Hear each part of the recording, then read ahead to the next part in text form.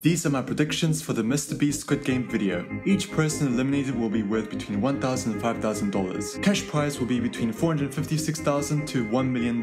No one will die. Hopefully. There will be two or more parts to the video. There will be around 60 people left in the semi-finals. The lights out will be swapped with a tag game or remove a piece of paper from a person. Let me know your predictions in the comments below. Best predictor will win the pinned comment when we see the video on Wednesday 4pm Eastern time.